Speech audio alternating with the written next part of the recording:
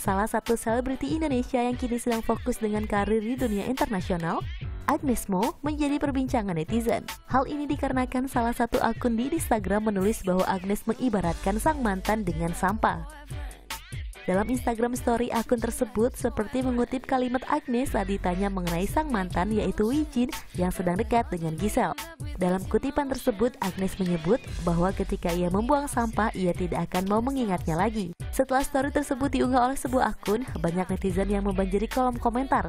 Ada yang setuju dan percaya itu adalah pernyataan dari Agnes Mo, namun ada juga yang menyebut itu bukan pendapat Agnes.